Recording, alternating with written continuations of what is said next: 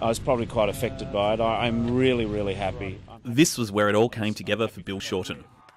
It's 2006, and Shorten is at the pinnacle of his union career, keeping the nation informed through the traumatic rescue of two trapped miners. I'm just glad it's over. I'm so glad it's over. It's not funny. The following year, he rides the wave into Parliament, becoming Bill Shorten, the politician. He's even been touted by some as a future Prime Minister. He has the support of some towering figures. If Labor is in opposition, who should lead it? Well, obviously Bill Shorten.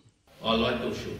But politics, particularly inside the Labor Party, is complicated. There's a lot of people who put their trust in you, and I think that it's only under Kevin Rudd and Labor will they get their fair share. Kevin Rudd was a very good Prime Minister, but I think you'd have to live on the moon to think that this government wasn't off track seriously in the last few months. Do you need to explain to Gabriella why you're not the uh, best person to lead the Labor Party? Because Julia Gillard is the best person.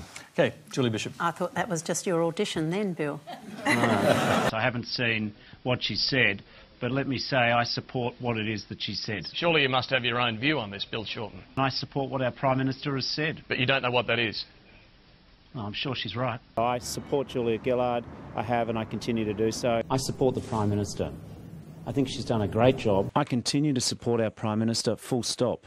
I believe that Kevin Rudd being elected leader tonight provides the best platform for Labor to be competitive. I shall be putting my name forward to be the leader of the Australian Labor Party. The scrutiny from media and his colleagues is intense. You've got a credibility problem, of course, now, after the way Julia Gillard was treated. Bill Shorten said that he was 100% behind Kevin Rudd when he was the Prime Minister until he stabbed him in the back and replaced him with uh, Julia Gillard.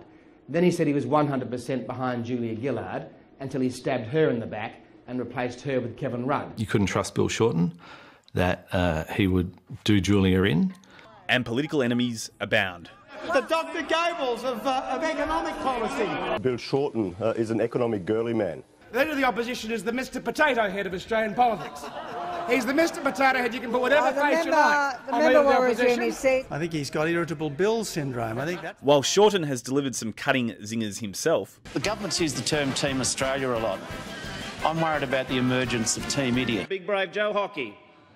This foghorn leghorn of treasurers, these people opposite are the cheese-eating surrender monkeys of Australian jobs. sometimes he's also tempted to hark back to his union roots. We will build ships and submarines in Australia because we love this country. But lately, there have been problems there too. Bill Shorten is expected to appear before the Royal Commission into Trade Union Corruption. Labor has accused the Abbott government of using a Royal Commission for a multi million dollar smear campaign. Shorten says the story claiming he didn't represent workers properly when he was the head of the Victorian AWU is a political smear. And the more we learn about his past, what's in store for Shorten's future becomes less clear.